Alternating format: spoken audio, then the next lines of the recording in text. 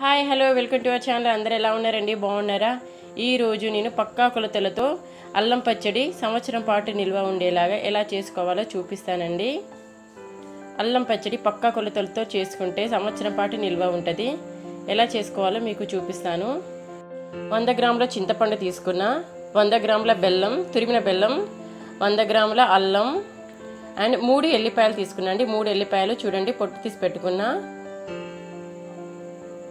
మూడు ఎల్లిపాయలు తీసుకున్నా నేను.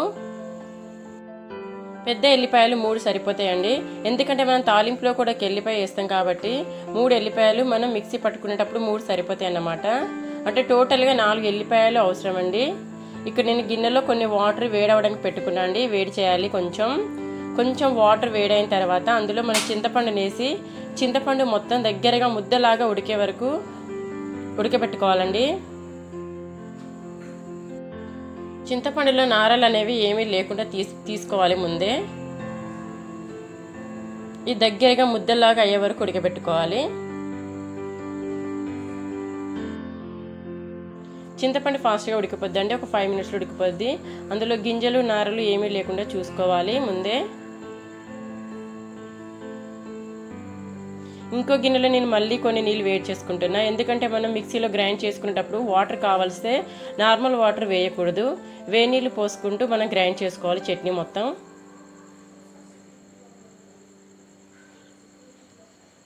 కొద్ది కొద్దిగా వాటర్ అనేది యాడ్ చేసుకోవాలండి మనం గ్రైండ్ చేసుకునేటప్పుడు కూడా. చూడండి ఫస్ట్ నేను బెల్లం తురిమేసిన. తర్వాత ఎల్లిపాయలు.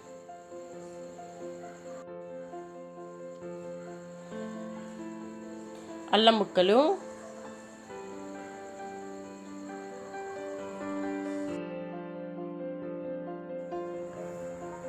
మిర్చి పౌడర్. మిర్చి కూడా వేసుకోవచ్చండి. మీరు రెడ్ మిర్చి ఉంటే నేనైతే మిర్చి పౌడర్ రెండు స్పూన్ల మిర్చి పౌడర్ యాడ్ చేసిన. టూ స్పూన్స్ అండి. సాల్ట్ రుచికి తగ్గట్టుగా. తక్కువ అయితే మనం తర్వాతనే యాడ్ చేసుకోవచ్చు కానీ ఎక్కువ అయితే వేసుకోకండి ముందే. చింతపండు గుజ్జు ఉంది కదా ఇది కూడా మొత్తం మిక్సీలో వేసుకొని మెత్తగా రుబ్బుకోవాలండి.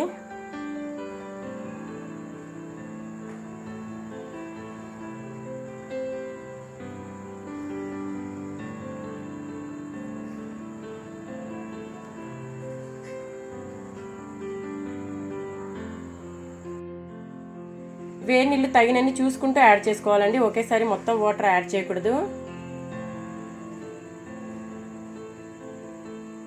కొద్ది కొద్దిగా యాడ్ చేసుకుంటూ గ్రైండ్ చేసుకోవాలి మొత్తం.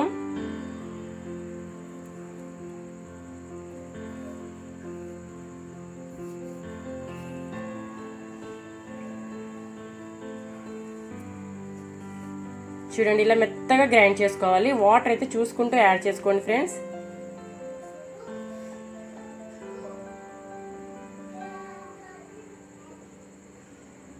ఇందులో నేను మరి కొంచెం సాల్ట్ అనేది యాడ్ చేస్తున్నా.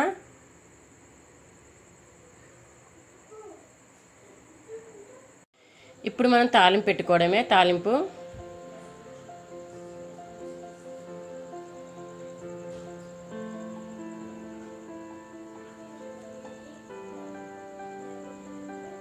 ఆవాలు వేసిన నేను జీలకర్ర వేయలేదండి. ఓన్లీ ఆవాలు వేసిన అండ్ ఒక ఎల్లిపాయ అక్కలు ముక్కలు దంచి ఒక పాయ మొత్తం అక్కలు ముక్కలుగా దంచి వేసిన.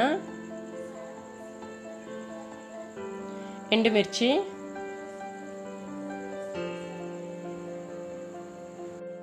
ఇందులో మినపప్పు శనగపప్పు తాలింపులో వేసుకున్నా బాగుంటుందండి. నేనైతే వేయలేదు.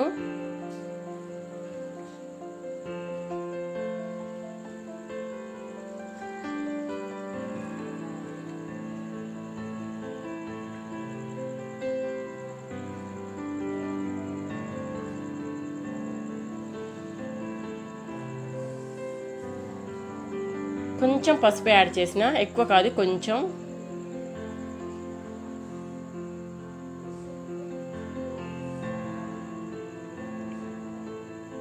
మినపప్పు శనగపప్పు శనగపప్పు అండి నేనైతే యాడ్ చేయలేదు తాలింపులో.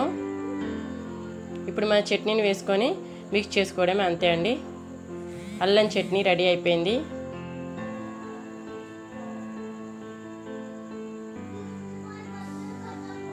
నేను రుబ్బుకునేటప్పుడు కూడా అన్ని పచ్చివే రుబ్బినండి ఫ్రై ఏం చేయలేదు అవసరం లేదండి.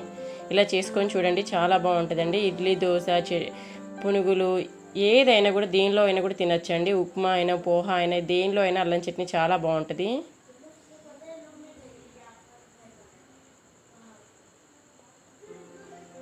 ఒక డబ్బాలో స్టోర్ చేసి పెట్టుకుంటే మీకు ఎన్ని రోజులైనా ఉంటుందండి అల్లం పచ్చడి.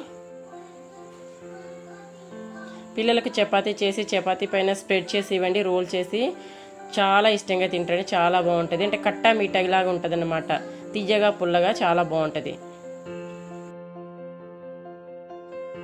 ఓకే ఫ్రెండ్స్ మీకు వీడియో నచ్చినట్లయితే సబ్స్క్రైబ్ చేసుకోవడం మర్చిపోకండి. Subscribe my channel. మళ్ళీ కలుద్దాం మరొక మంచి వీడియోతో. అంతవరకు బాయ్ బాయ్ టేక్ కేర్.